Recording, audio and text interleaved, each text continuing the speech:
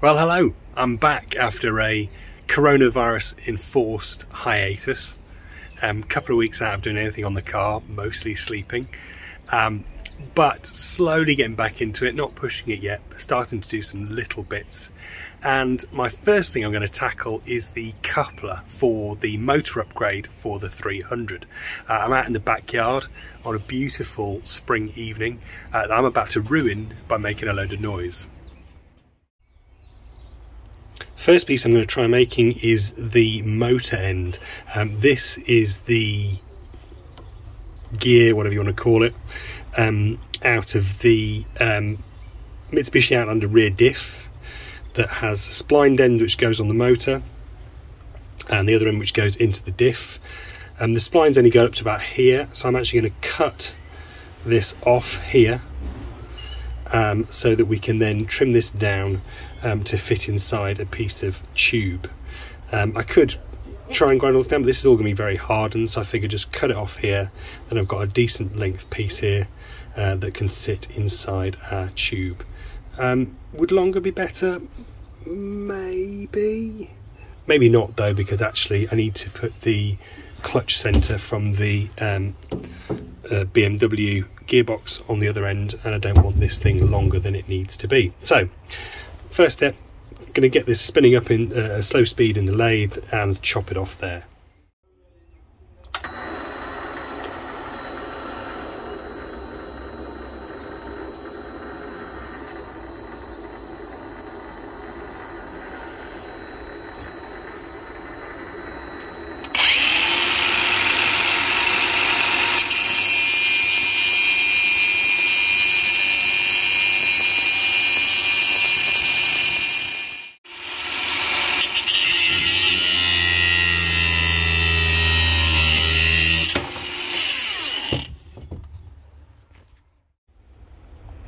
So there we go, fairly neat cut.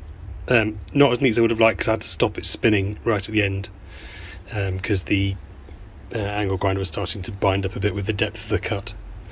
But you can see that plenty of space there between the splines. We've got all the splines in there. The plan is to trim it down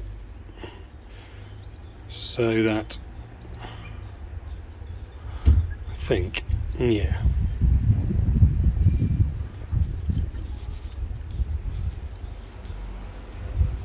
We'll see. I can't decide whether it's going to go in that way, so that towards the motor, which is the way it would have gone initially, and then I leave this lip here, leave a lip here, and trim this down so that it fits inside this piece of pipe, which obviously need cleaning up. But if I leave a little lip here, A, it should sit nice and square, and B, if I need to, got something to weld to um, if just the shrink fit isn't quite enough. I probably will weld it, we'll see. So now we've got our motor end, we need to think about our gearbox end. So obviously this this centre here is going to be our so it'll sit on these splines. It can run to a maximum depth of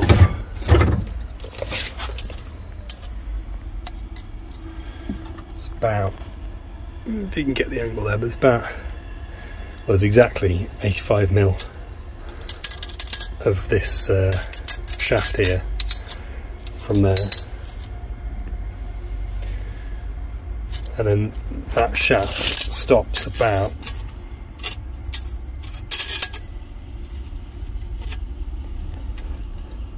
five mil. You can't really see it where you are. About five mil from the face of here. So our adapter plate, which bolts on here into the motor, is going to be 66 12 52 mil.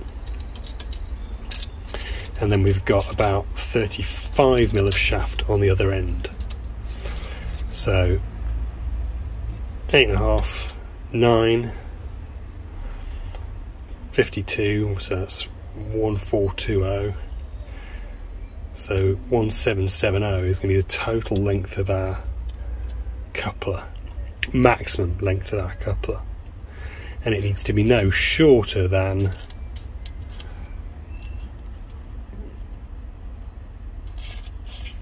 fifteen seventy. If we're going to use this gearbox, I think this gearbox is the same as the other one, but I don't remember this protrusion here. Oh, the other one feels like it's deeper, perhaps. Um, maybe a different gearbox for the more powerful two litre motor. It's not dissimilar. Either way, we need a coupler that's about 1600 1650 millimeters long in total. Uh, and we can do some adapting around that. We'll start it out at its maximum and then we can trim it down to make sure we've got a snug fit. We don't want it pushing against here. Um, but we do want it to be snugly on these splines. So, probably time to cut some pipe. I only have two hands, and I've not got my uh, tripod out here, so didn't film that, but just roughly cut that off with the angle grinder. Didn't bother getting the circular saw out because I'm going to finish this up in the lathe anyway. You can tell this is slightly rusty piece of pipe. It's not perfect.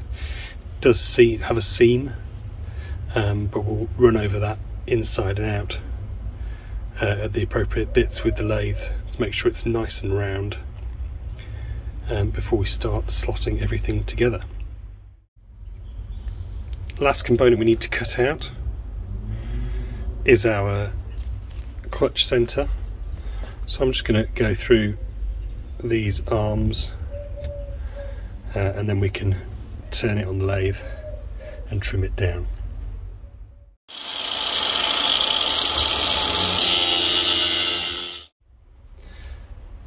There we have it, our three coupler components.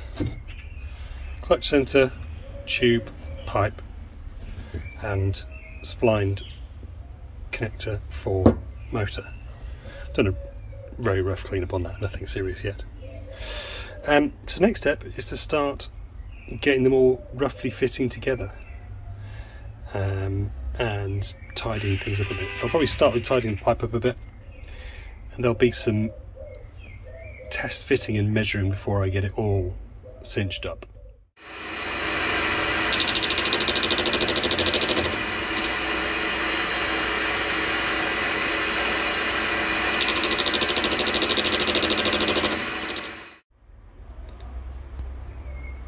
light's starting to fade and it's probably time to pack up for the day but you can see I've roughly squared off this tube it's definitely too long that's about 17 or 170 mil now which is what the total thing needs to be so once you've added that on one end and that on another will sit inside like that you can see it needs to come down a bit. It's probably going to come down a couple of centimetres. It's much longer than my other coupler, um, which is not necessarily an issue. Um, but yeah, the tube still needs a lot of cleanup, which is difficult because the mouth of the chuck is too small for this to slot inside. So while it's while I'm cleaning up the outside, I can use the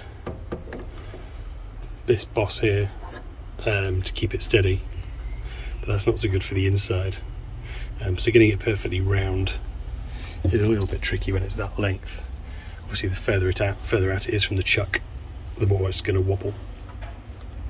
But a good start. Uh, I've got my core components together now. Uh, and then I can just start to do all the fitting together.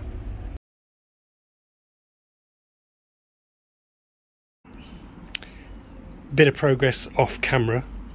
Um, I finished turning down the neck of the spline section from the motor coupler and opening out the inside of the tube slightly.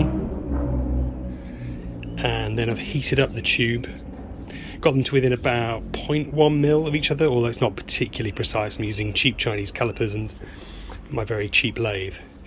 But to the point where they almost fitted within each other and then heated this up with a blowtorch and dropped this in.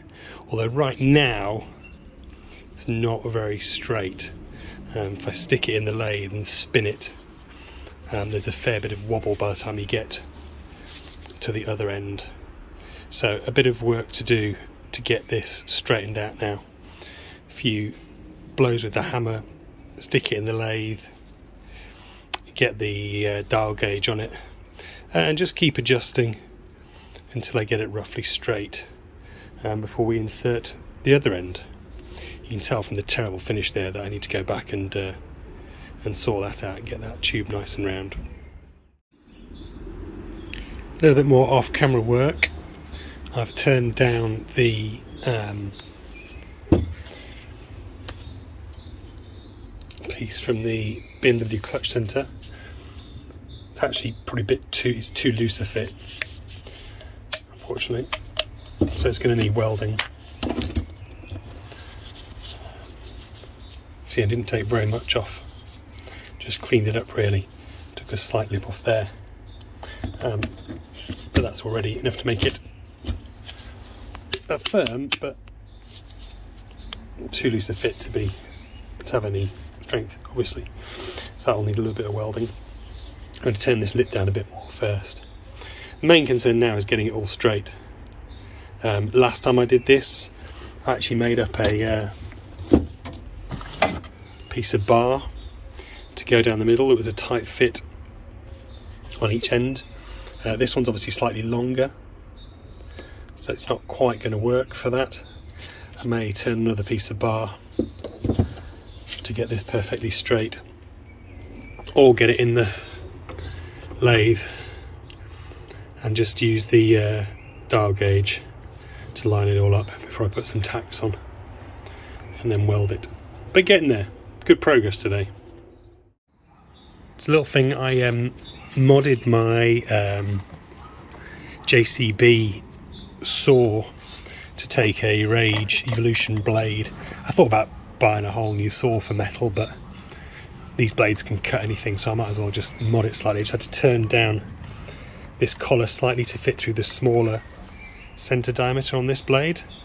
Um, that just took two seconds in the lathe, and that's now a nice fit and I've used that to trim down the motor side adapter plate.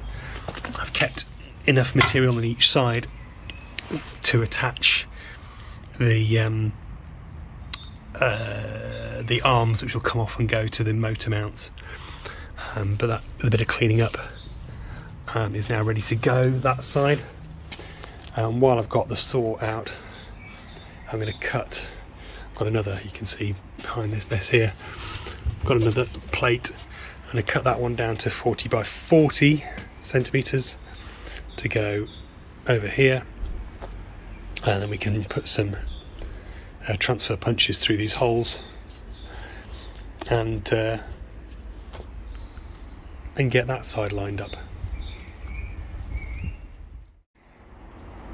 Thought I'd double check measurements before I uh, start cutting this piece of plate up. Make sure this is going to fit all right. Um, see that 40 in that dimension is going to be loads. But in this dimension yeah should still be loads well, not loads actually, but enough.